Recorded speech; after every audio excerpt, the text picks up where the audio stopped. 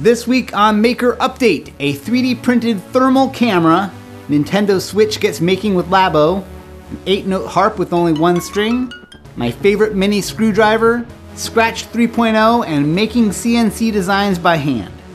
It's Wednesday, I'm Donald Bell, and welcome to another Maker Update. I hope you're all doing well. I have a fun, full show for you today, so let's get started with the project of the week.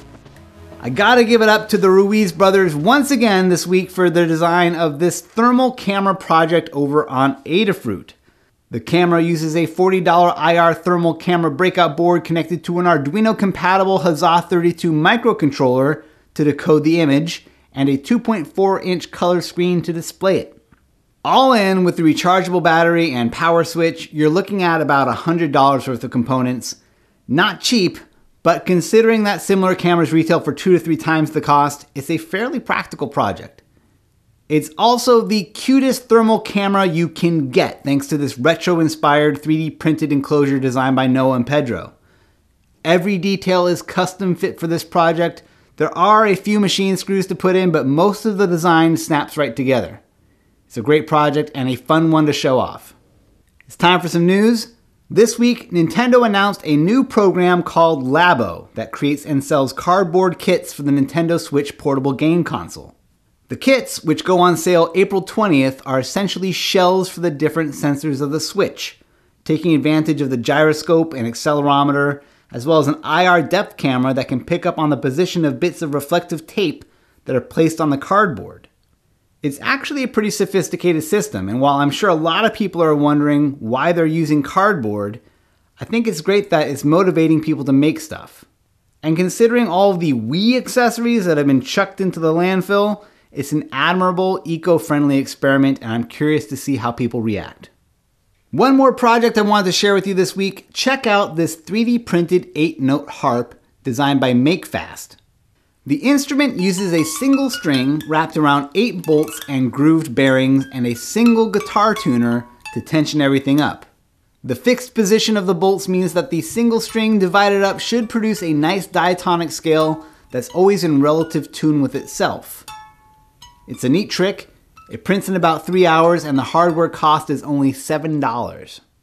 It's time for another cool tools review. Last week, I showed you guys this right angle adapter for a power drill. This week, I'm going to show you the hand-powered alternative. This is the Neiko mini ratcheting screwdriver. I bought this years ago for about $9.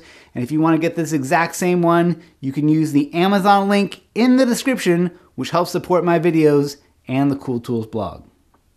Sometimes, no matter how short and stubby your screwdriver is, it just can't get at an awkwardly placed screw. Doorknob screws are a perfect example, and I think I originally bought this driver just to tighten one up.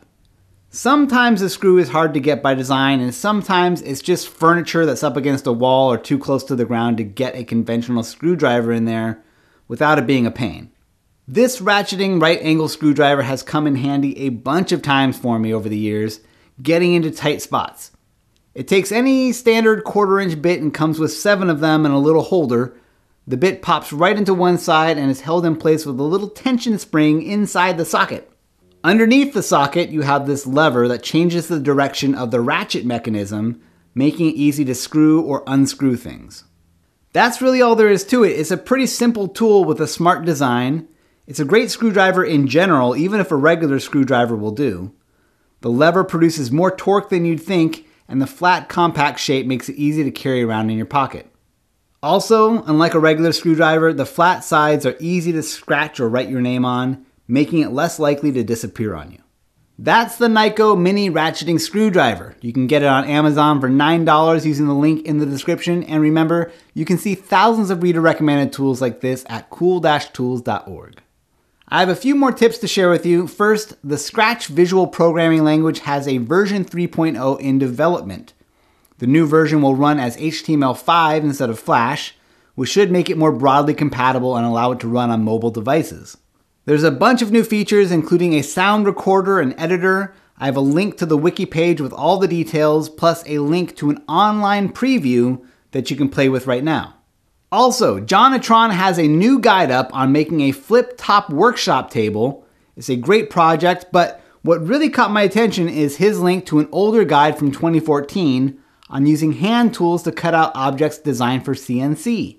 John shows off how he designed this slot together laptop stand in Fusion 360, used a print shop to print out a large scale template, and then transferred the template to plywood that he cut out using a jigsaw and a drill. It's a nice reminder that you can take advantage of digital design even if you don't have a CNC router or laser cutter nearby. Maker Faires! We finally have some maker faires to talk about. This weekend there's a mini maker faire in Perpignan, France, and one in Elkhorn, Wisconsin. Maybe you can make it out to one of those. And that's it for this week's show. Be sure to subscribe, leave me a comment, leave me a thumbs up, pick up a mini ratcheting screwdriver if you don't already have one, and sign up for the Maker Update email list to get these show notes emailed out to you each and every week automatically with a few bonus links included just for fun. All right? Thanks for watching, and I'll see you next week.